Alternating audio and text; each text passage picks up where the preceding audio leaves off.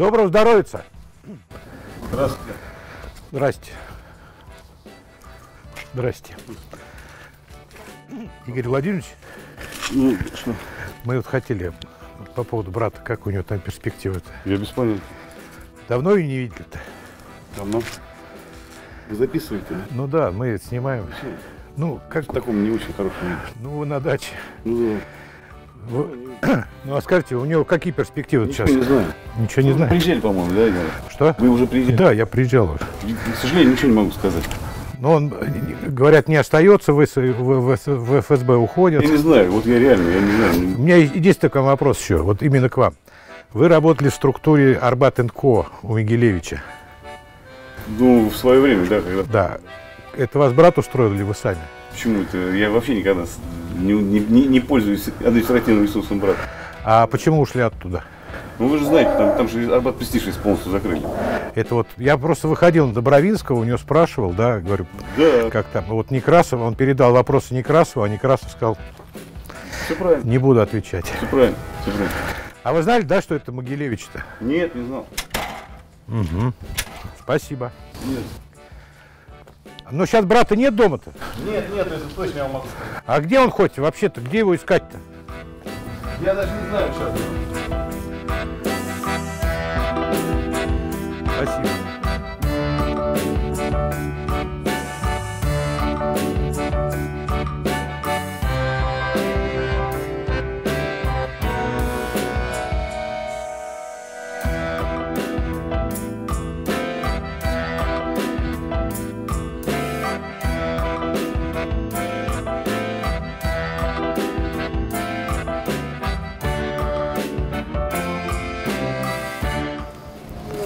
Наш односельчанин, можно сказать. Ну да, знаете, он генерал ФСБ. Знаю.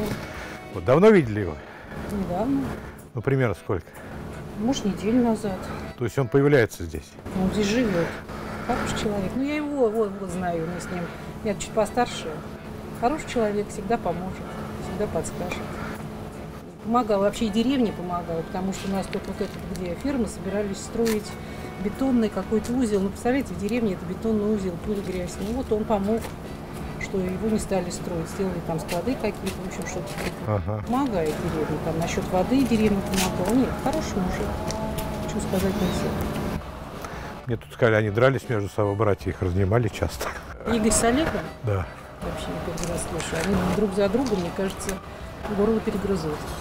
Двойняшки, сами. Ну да, да. Кровь одна течет. Но, э, то есть, э, Олег в ФСБ, а вот Игорь, он по, по какой линии пошел? Он что-то с энергетикой. Красногорские электролинии. Да, электросети. Да. электросети. Ну, он не в ФСБ не служил. Нет, нет, нет. Они закончили, э, они фельдш... медицинское училище закончили. Оба. Оба, оба. И потом ушли в армию.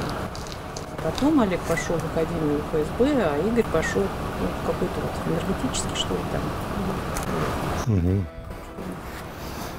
Хорошие ребята. Хорошие люди. Хорошие люди. Не, не говорят, что они кор- коррупционеры, деньгами швыряются. Нет.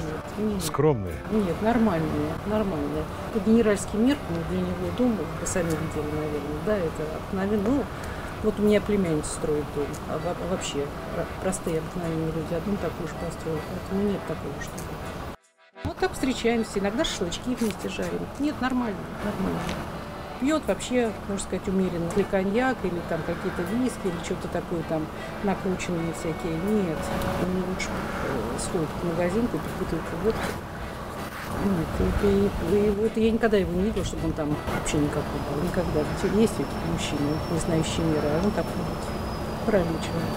Вот он, он рыбак, любит на рыбалку ездить, на Волгу, рыбу привозил. Всем раздавал деревню, привезет, а кто там таких э, рыб с Волги или Кормилец. кормилец, ну да, и несет там кому сама, кому чего такое нормальное. Вот читали там, а в интернете о нем пишут. Я по телевизору смотрела, что он вот это, э, который на Украину-то певица сбежала. Максакова. На него там по телевизору кричал. Вороненко, Да, Максакова. да, что Вороненко такой хороший-хороший, а вот генерал Феоктист. Сделал так, что он ушел, что он вот убежал, что... Ну, значит, э, надо было так сделать. Проникся, сволочь. И она такая же, нечего на Украину бежать. В России надо бороться, если вам что-то не нравится. А если вы воруете, то уже тут что говорить.